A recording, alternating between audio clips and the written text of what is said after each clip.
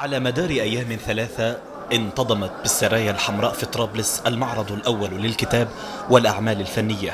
الكثير من المناشط الثقافية والأعمال الفنية نجحت منظمة رواق للأبداع التدريب والتطوير والتنمية البشرية في عرضها وإخراجها للحضور انطلاقا من أن من لا قدم له لا جديد له.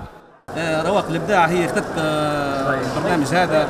ودارت آه، أول عمل لها يعتبر يعتبر عمل أول في تنظيم أشياء قديمة وإخراجها للجماهير حتى يعني يعطوه الاطفال والشباب لكي لا ينسوا تاريخ بلادهم و يعني أشيائها القديمة طرابلس العتيقه جميل من بين المشاركين الذين جاءوا من مركز جهاد الليبيين ومصلحة الأثار والمركز الليبي للمحفوظات والدراسات التراثية مشاركة من مخيم قرارة القطف حازت على جائزة المركز الأول ونالت مقتنياتها استحسان كل من زار المعرض وشارك فيه.